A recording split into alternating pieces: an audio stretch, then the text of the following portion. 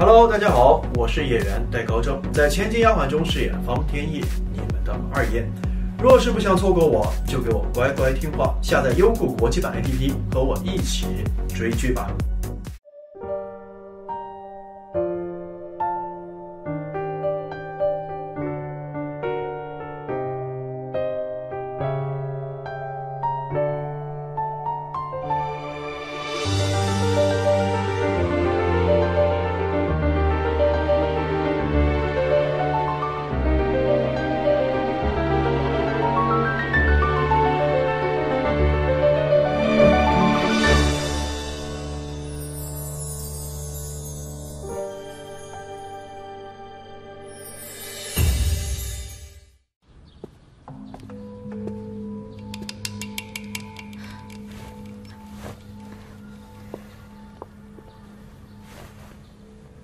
雨泽，你怎么来了？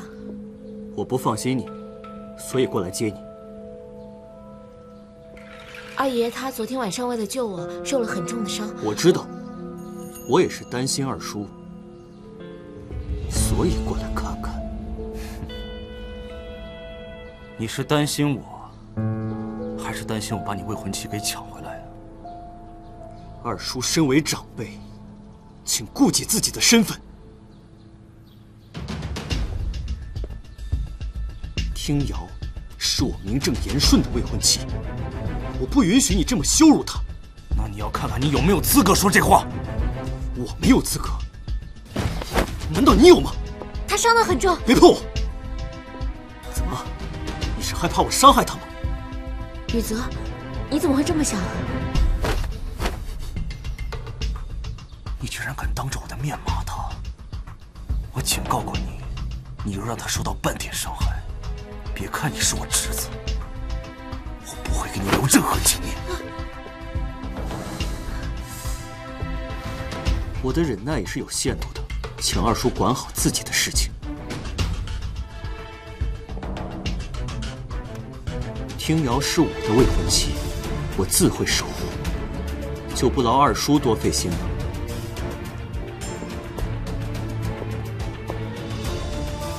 不管祖母怎么说。我与听瑶下月都会举行婚礼，二叔你好自为之。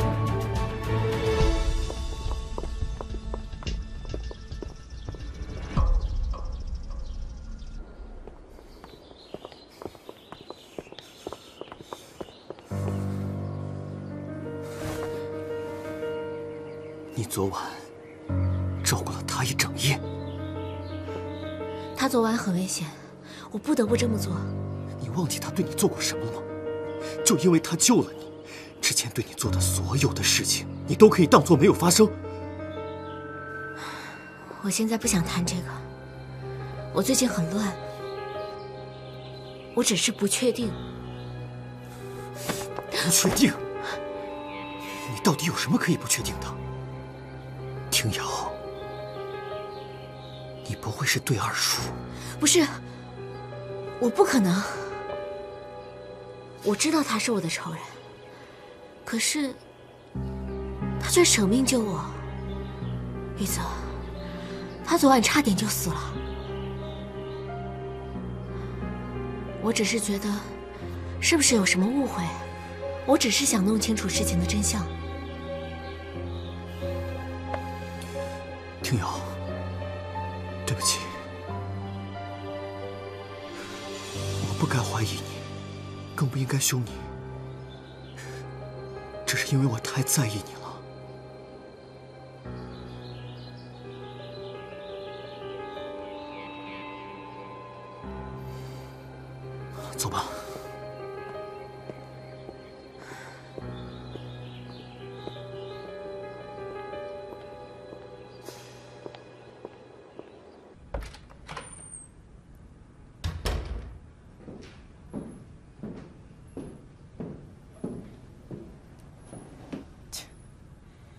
真是稀客呀！没想到来看我的人竟然是你。我们好久没有好好说过话了。小时候，我们总是有说不完的话。在偌大的方家，想要找到一个说话的人，第一个想到的，竟然是你。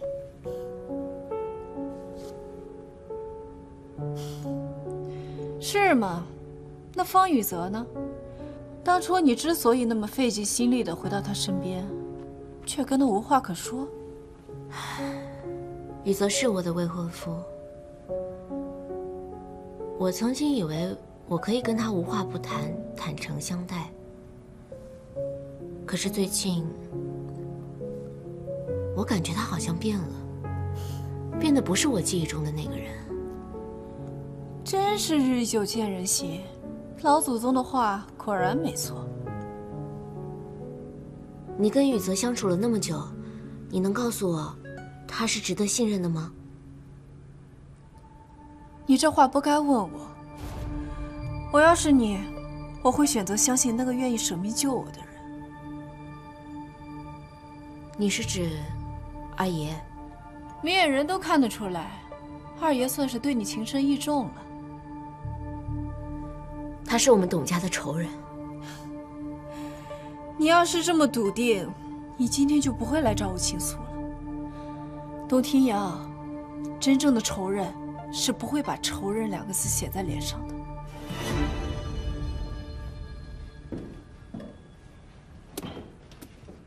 董天阳，你喜欢的究竟是方宇泽，还是当年树下的人？这有什么区别吗？雨泽就是方家少爷啊。如此说来，若是方宇泽不是方家少爷的话，你便不喜欢了。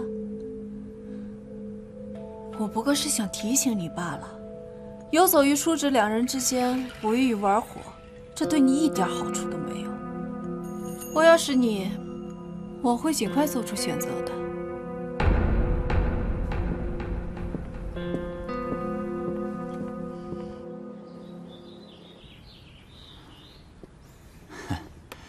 总算是挺过来了，但是你失血过多，身体虚弱，让底下人给你好好补补。那些照片你都看了？啊，董家人身上的那些子弹，跟你上次在军火库中所见的子弹是一致的，也跟督军府门口那帮杀手所用的一样。那批武器是英国人今年初最新研制的，应该就是流入黑市的那一波。二爷，这就证实了咱的猜测是没错的。那晚督军府门口的杀手。也是方宇泽安排的，黑市鱼龙混杂，或许另有隐情。你还在替他找什么借口啊？董家抓到那批人如此训练有素，说明他谋换那些秘密军事啊，就不是一日两日了。你非得要等到他把枪口对准你才动手吗？那是我亲侄子，我们从小一起长大，我实在想不出来他这么做的理由。等我找到确实的证据再说吧。刘副官，你不要再说了，让二爷好好休息一下，他心里自有分寸。请。最近可别再给自己找麻烦了，万一再受点什么伤，我可不保证还能救得了你。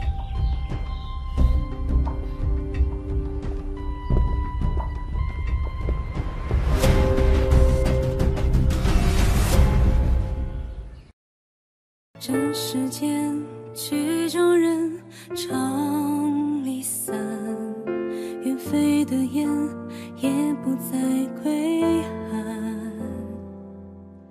看寥寥炊烟，看宇宙长晚，看不完人间的聚散。时光流转。